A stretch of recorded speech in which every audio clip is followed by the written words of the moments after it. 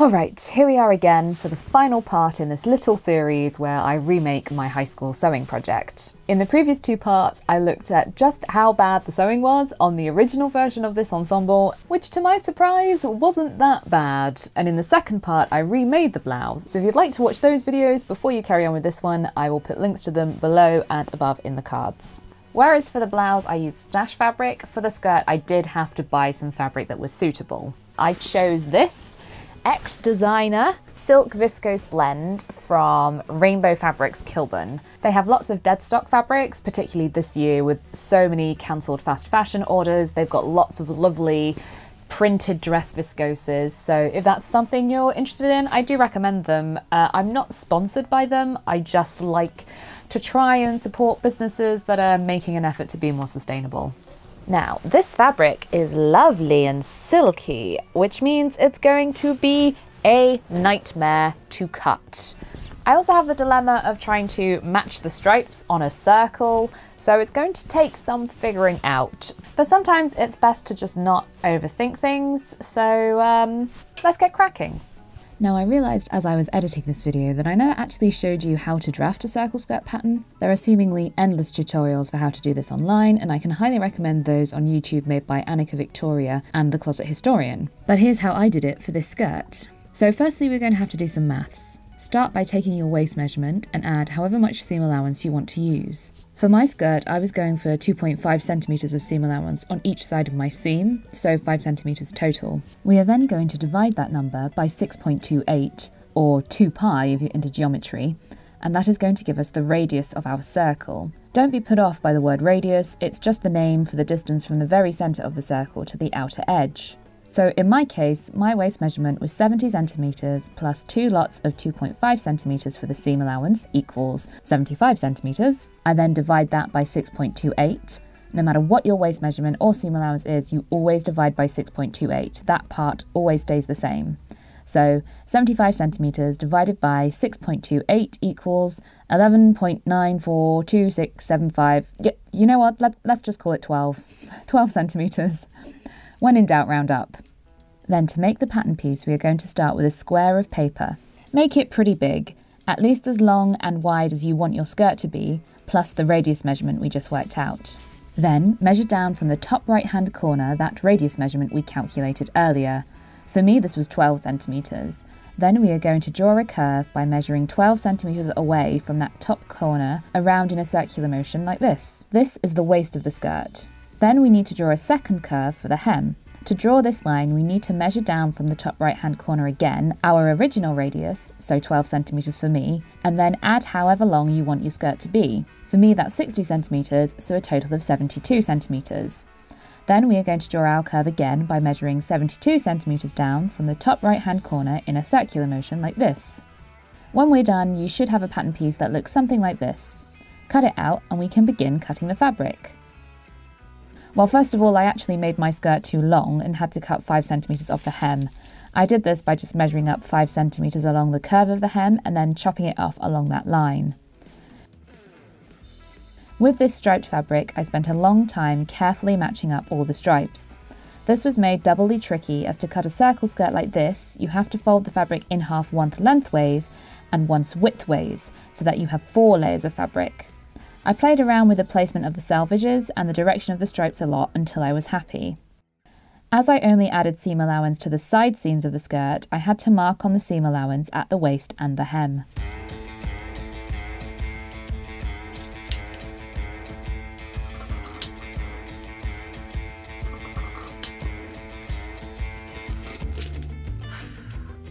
That was one of the most difficult things I've cut in a very, very long time. Oh boy, it is nowhere near perfect, um, but it's okay. Um, it's pinned together, right sides together at the moment, but what I was able to do with the cutting was... Oh, oh that's great. Just knocked over my pins. What I was able to do, which I'm quite pleased with, is get this wide orange stripe down the centre. So that's going to be running uh, vertically to the ground. And then um, the peachier stripes should match up on the diagonal. You can see uh, I ended up chalking it on my cutting lines and then cutting it differently. So I'm going to have to go in and sponge off those chalk marks. But yeah, that was uh, kind of stressful. So I'm glad it's done. Sometimes there's nothing for it but to just jump in the deep end and give it a go. And that's what I did. And I think it's to be all right. Still got to cut the waistband. And I was hoping to do bias binding for the hem, uh, but I'm not sure I'll have enough of this fabric left to actually make enough bias. We'll see, we'll see, maybe. Maybe it'll have to be very skinny bias binding. It's done. So I've got some thread, got some stash thread, which should be quite good for this. Um, I think it's polyester.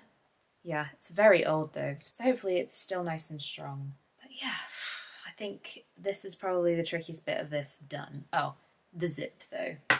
Got to put in a zip. But I have got one in the right colour this time at least, and the right size, which makes a change for me. Once cut and pinned together, I carefully tacked the side seams in place, making sure the stripes matched up exactly on each side. I measured and marked the placement for the zip so that I would know not to sew that bit shut. I then very slowly and carefully machined precisely along my tacking line. When I got to the opening for the zip, I changed to a basting stitch. Or at least, I thought I did, but I ended up just moving the machine needle, I still haven't been able to get my Bernina serviced and haven't quite gotten used to this brother machine yet. I basted the zip opening closed, ready to install the zipper later. Then I began carefully removing the tacking I had just machined over. This was tricky, but it was worth it to make sure the stripes matched exactly.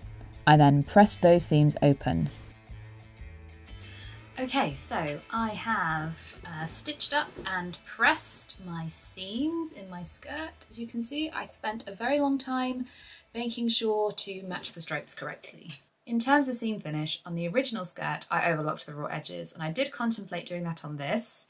However, I don't have enough of the right colour thread, so I would have to either do it in white or black or green. And I did it in white on the, on the original, but I don't like the way that that looks. So in the, I've actually just uh, left the selvages. So I've used the selvages as the seams that I can just leave the edges. I mean, it's not a very nice selvage because it's so fluffy. I might go in and trim it, but to be honest, I don't think I have the patience for that.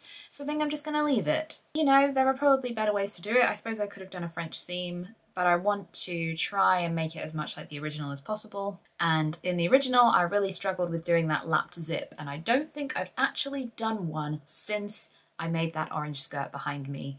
Uh, so I think it's time to tackle that. I've prepped the opening, it's tacked shut, and I've marked where the zip has got to go. Amazingly, I had a zip in the right shade and length, uh, it is unfortunately one of these polyester coil zips, which I general, generally don't like to use, but gotta work with what you got sometimes. So because I haven't done a lap zip ever successfully, it's time to get out my favourite go-to sewing book. This is absolutely, it's one of the only sewing books I really recommend. This is the only book you'll ever need. It teaches you everything, um, including how to scale up gridded patterns, which is very useful for costume making. My edition is from the 70s. Let's have a look when it was first published. I think it's, yeah, 78, 1978. Oh, it's a first edition. Hmm, that's exciting. Uh, but I do believe this book is still in print. It was one of the very few set texts I had at university. The other one was Nora Waugh's Corset and Crinolines. Um, so I do really recommend this book. It's got instructions for how to do a lapped zip, so I think I'm going to use these instructions. I did look at a few tutorials online, but there was never like a consistent way of doing it that I found across tutorials. So I'm going to trust the Reader's Digest because they usually work for me. The other brilliant thing about this book is it's got some really hilarious sort of 70s sewing patterns in the back. I mean, frankly, look at that. Oh, oh, lovely. But my absolute favourite has got to be Derek the dinosaur. Look at that. I mean, who who doesn't need a giant cuddly dinosaur in their life? Anyway, I'm procrastinating. Time to crack on with this zip. The Reader's Digest instructions said to pin and baste one half of the zip in place, centering the zip teeth over the tacked shut seam. Then it said to flip the zip over so that the right side was facing up to reveal the seam allowance, and to machine through all thicknesses as close to the zip teeth as possible. It optimistically said pin if required. There was no way I was accurately going to be able to machine down this tiny width of visible seam allowance without pins. And in fact, I went a step further and tacked it because I was not feeling confident about this turning out right. I switched to a zipper foot and began carefully sewing along that line I had just tacked. This was really counterintuitive. You are essentially top stitching the zip in place, but from the wrong side. It was very confusing, and I didn't realise it would be visible at the time, and my stitches ended up a bit wonky, so I just went over them instead of unpicking them, which meant I then had two visible lines of stitching. oh well, this can't be seen when the zip is closed. Then working from the right side, Reader's Digest said to smooth the right side of the fabric to be as flat as possible and pin it in place. Then to tack a guideline for the top stitching 12 to 15 millimeters from that seam. I measured this out with a friction pen for precision before tacking the zip in place.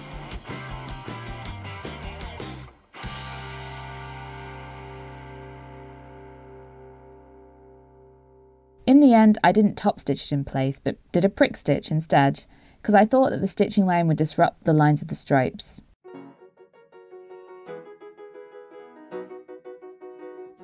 I also then was able to change colour thread as the stripes changed to make them even more invisible. However, I was worried about the prick stitching not being very strong, so I ended up going in and machine stitching the zip to the seam allowance for extra reinforcement. I then gave the zip a good press before removing the tacking that held the zip closed. I undid the zip to check everything worked and did my best to press out some of the scarring that had occurred from the machine tacking. A spritz with water helped. I then began construction on the waistband.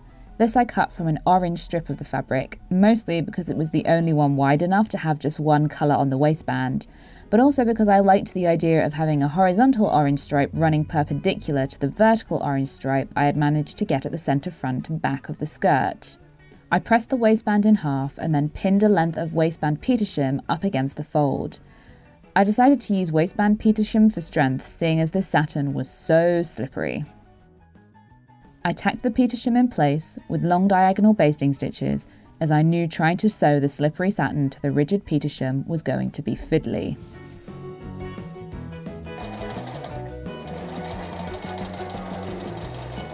Then I machined the Petersham in place down each side, following the stripes as a guide to keep my stitching straight.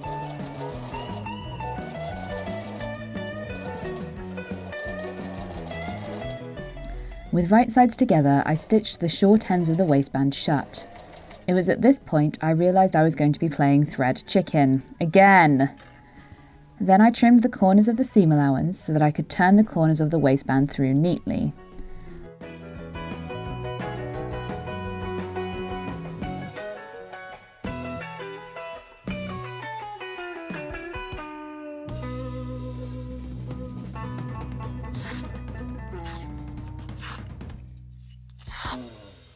Now that I had machined that Petersham in place, I could remove the tacking.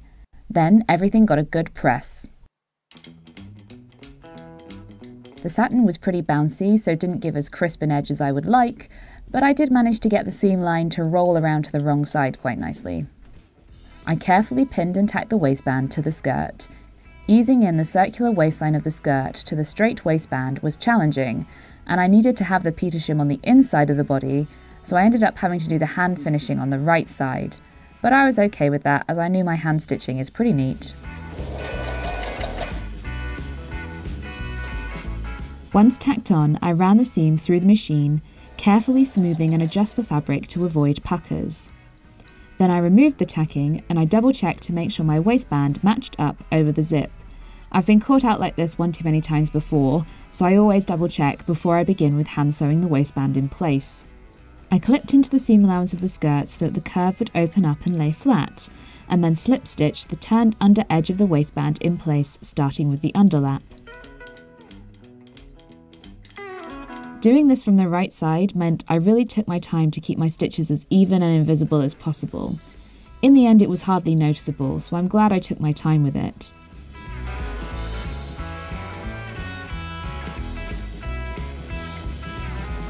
Next came the fastenings. I used a standard skirt or trouser, hook and bar for the place where the waistband met the edge of the zip, but for the underlap section, I just used a popper. The hook and bar will take all the tension of the closure, whereas the popper is just there to stop the underlap flapping about.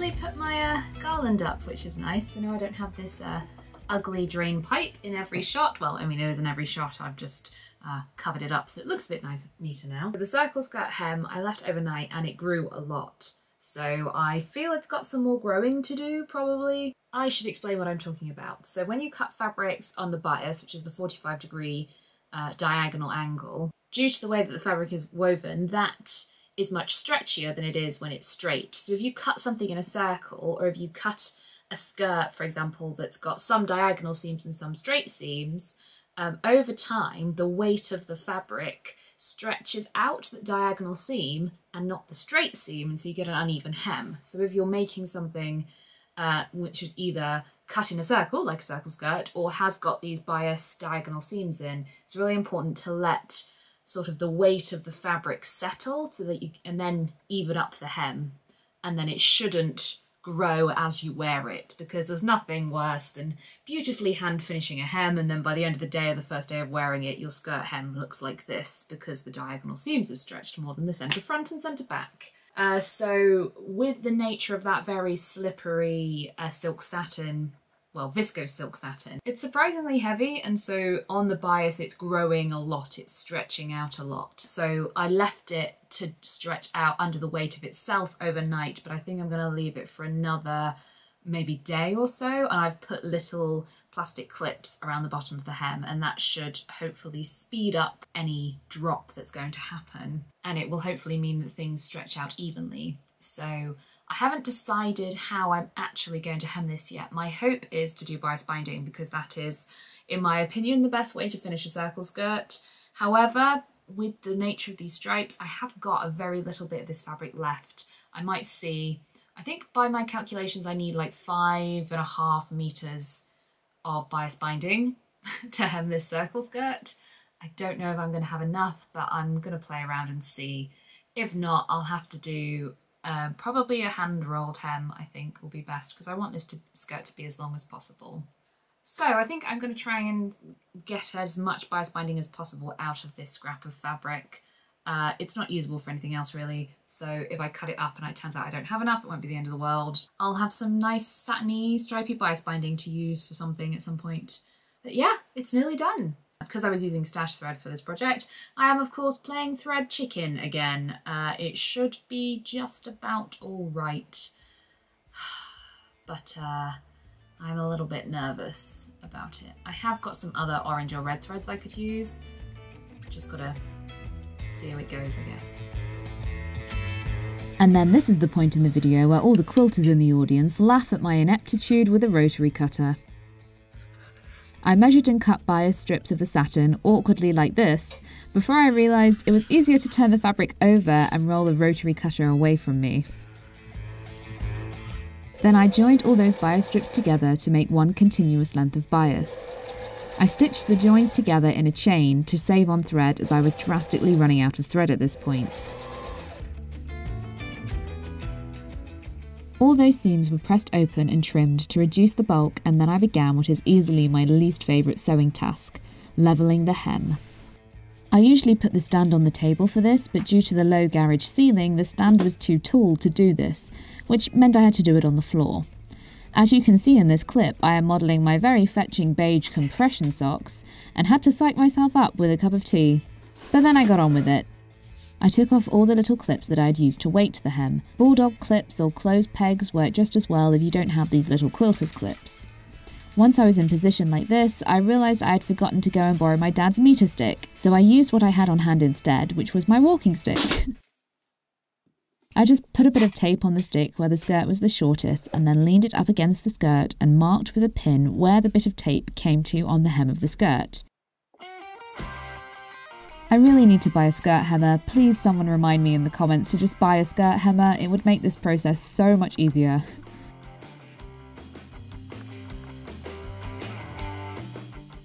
I worked my way around the hem, pinning at the tape mark, and then I got my shears and cut the excess off just below the pin. For this, I had to abandon my little stool and sit on the floor because I couldn't get the right angle for cutting. You can see here just how much the skirt grew on the bias, probably a good 10 centimetres or 4 inches. I then spent some time looking at the hem to double check everything was even and level, and if there were any wobbly bits, I just trimmed them up so things were nice and smooth.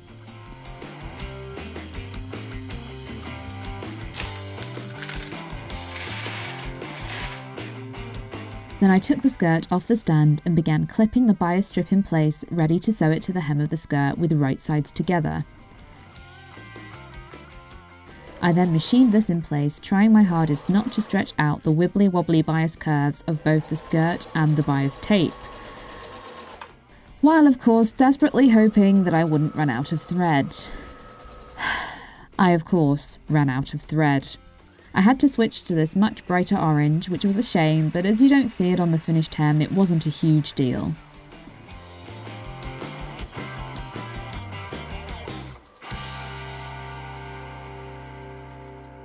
I carried on sewing the hem before filming some excellent footage of my elbow trimming the curved hem allowance with pinking shears to help the curve turn around to the other side. I pressed the bias first down away from the skirt and then around to the inside and turned the top edge under so that the finished bias strip was 3 centimeters wide.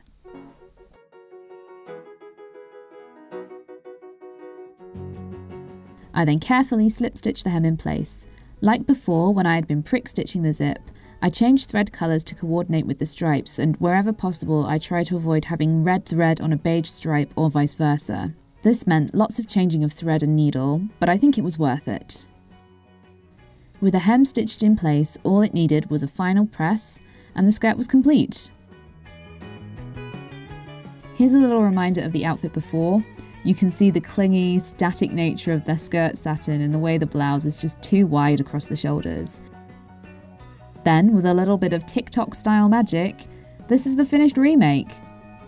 I am so pleased with how the skirt came out. It has such beautiful body and drape and just looks so much more sophisticated than that tacky polka dot Halloween costume. This is possibly the best pattern matching I have ever done, and that lapped zip, which defeated me as a 16 year old, turned out pretty well. It does gape a touch at the top when the zip is closed because of the bulk of the zipper pull, but I'm okay with that. The waistband is a, a bit tight, but it certainly gives that 50s cinched waist. I'm so glad I chose to go with a bias binding for the hem. I love the glimpse you get of the stripes on the inside, but even though I spent a long time carefully levelling and hand stitching it, the hem still isn't perfect. But this skirt has an amazing swoosh to it. I tried to do some dramatic turns to show it off, but I had mixed results. Alright, so that is it for this project. It's all finished. I've put everything on, I've got the blouse on, I've got the skirt on to do a little photo shoot, but I thought I'd also do a little sort of postscript to this project because this has actually been a really great exercise for my self-esteem because uh, I don't really consider myself to be quite a self-confident and self-assured person. However, particularly with my sewing, I definitely have days where I'm like, I'm the biggest fraud in the world, I'm terrible at this, I should never sew ever again, I'm the worst, you know, all those sorts of things. And actually going back to exactly the same sewing pattern, exactly the same sort of design concept, that I had at the very beginning of my sewing journey and remaking it now has really made me realize that I'm actually pretty good at sewing and I really enjoy it more importantly. And I might not be the best designer in the world still, I don't think that will ever be a part of my skill set that I ever feel particularly confident in, but I'm at least better than I was. So that's nice. One of the interesting things about sort of perfectionism and sewing for me is that as a disabled person, I've had to let go of so much of my perfectionism because I physically cannot do it. And that's been a really tough learning journey for me, and it feels nice to kind of ha- have arrived at a point now with this project where I really don't care. I guess I've kind of just made my peace with it, uh, and I've come to accept that. Uh, the standard that I know and believe to be acceptable isn't the standard I can realistically achieve all of the time. That doesn't mean I still can't achieve it if I wanted to. Uh, it's just not worth it for me. So it turns out this this project's been full of personal growth. I suppose t- I'm taking away so many wonderful sort of positive things from making this project, as well as two really cute garments that I'm probably going to get quite a lot of wear out of. What more can you ask for in a sewing project, really? So I think that's enough waffling on for now. So all that's left to say is thank you very much for watching. See you next time.